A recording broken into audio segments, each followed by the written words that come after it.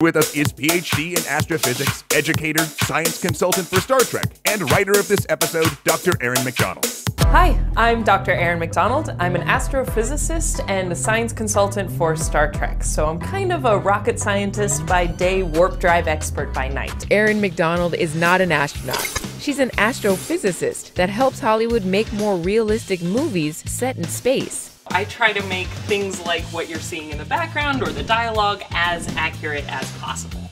And it's a dream job for me. When it comes to marrying science with science fiction, Star Trek does it brilliantly for transporters. So fundamentally, I hate to break your hearts, but transporters will never be able to be a thing. Heisenberg's uncertainty principle states you can never know exactly where every particle is. So when we're transporting people, what you do is map where all of their particles are. And if you're talking about humans, you're gonna wanna go down to the really tiny subatomic level. Okay, hey everyone, welcome to another episode of Dr. Erin Explains the Universe. So this episode, we're gonna be exploring the idea of gravitational time dilation. Now this one, we're just gonna geek out about some sci-fi. So I did my PhD in astrophysics. I studied space-time and ripples from colliding black holes, which is objectively awesome. and so we saw black holes collide from the ripples in space-time that had traveled billions of light years to get to us.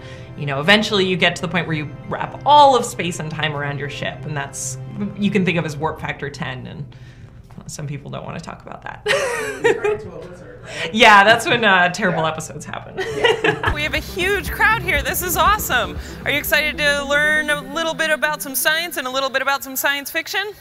Yeah, you are. All right. I help design um, satellites. I help the government try to figure out what they want to build and figure out if what is being built is correct. I work with writers. I talk about um, how to get the science right in their science fiction. If they want to come up with a warp bubble, how do they get to talk about it in a way that makes sense? I was a little redheaded girl who would sneak a VHS recording of X-Files episodes and watch them late at night. I was obsessed with every single thing that Dana Scully was. She was everything I wanted to be. I bought my first pantsuit when I was like 11 years old. I had a bobbed haircut, like way too young, ill-advised. For my 16th birthday, all I asked for was a really expensive trench coat that I could look like Dana Scully. I still have that, by the way. Men and women in STEM were shown to be equally competent at their job. So it wasn't like, oh, the women don't know how to do it. It was, yeah. Right. That is interesting because I think that when they do take the time to have female STEM characters, they aren't portrayed as incompetent. They, they are good at their job.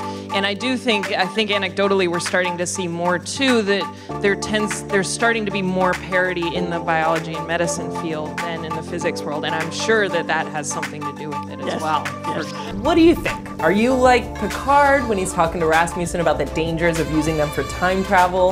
Are you afraid that you would be spaghettified? Or if we see something that looks like a wormhole, would you just jump in and see where you ended up? Let us know.